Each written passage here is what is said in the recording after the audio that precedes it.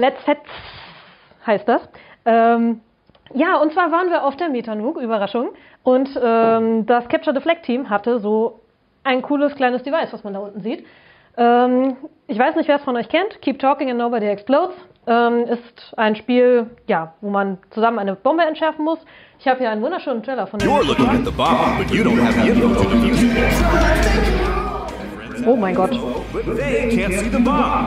Can they talk you through it? the diffusal manual says there's a serial Das ist wieder leise. Should be on the side.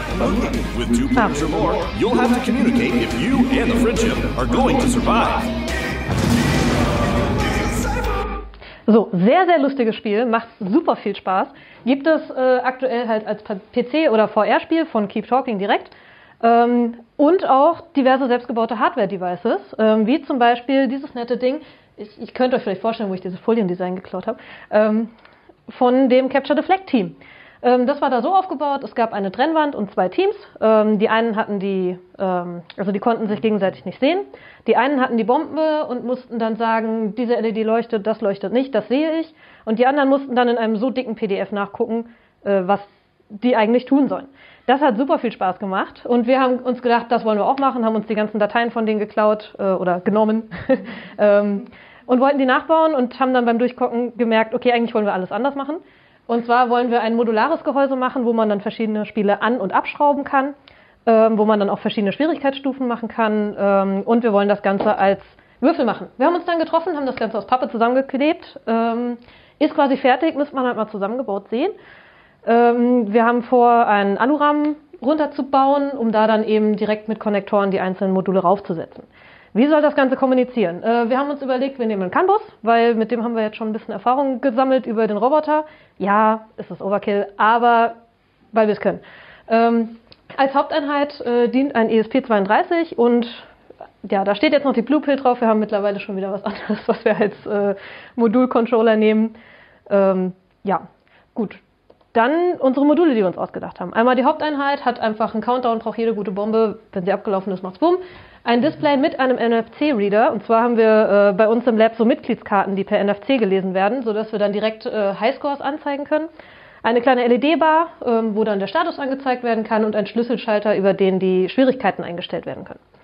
So, das ist unser Alarm. Und zwar geht so alle ja, paar Sekunden, nein, ähm, alle ein bis zwei Minuten geht irgendwie so ein Alarm los, der erst gelöst werden muss, bevor man das Rätsel weitermachen kann. Ähm, da haben wir einfach so Tresor-Endlos-Putis, wo man ein bestimmtes äh, Muster einstellen muss, damit man den wieder deaktiviert. Ähm, wir haben ein Labyrinth, wo man entweder über die Knöpfe oder in der schwierigeren Stufe per Gyrosensor äh, verschiedene Pixel an- und ausschalten muss. Dann auch wieder der Supervisor muss einem dann sagen, welches Muster man am Ende einstellen muss. Wir haben ein super cooles Kabelspiel mit Öffnen der Klappe, wo dann äh, verschiedene Stecker zusammengesteckt sind, die man dann abziehen oder anziehen, äh, zusammenstecken muss. Und sobald man diese Klappe schließt, ist dann das Rätsel gelöst oder eben nicht. Äh, hier haben wir uns ein wunderschönes Binary-Spiel äh, ausgedacht, wo wir einfach ja, zellulären Automaten im Hintergrund haben, wo wir verschiedene LEDs ein- und ausschalten müssen mit äh, weniger Switches als LEDs. Ist jetzt, ja. Ja, dann haben wir schon ein, ähm, ja, ein optionales Modul, und zwar das Mercy-Modul. Äh, bei uns haben wir einen, der hat einen wunderschönen Vollbart. Leider habe ich noch kein Foto gehabt, deswegen unsere wunderschöne Zeichnung. Ähm, in diesem Bart wollen wir einen heißen Draht ähm, verbauen, von, wo man von A nach B mit äh, ja, irgendeinem Ring oder so gehen muss. Und währenddessen sind die ganze Zeit Stimmaufnahmen von ihm. So, ah, nein, ah, aua.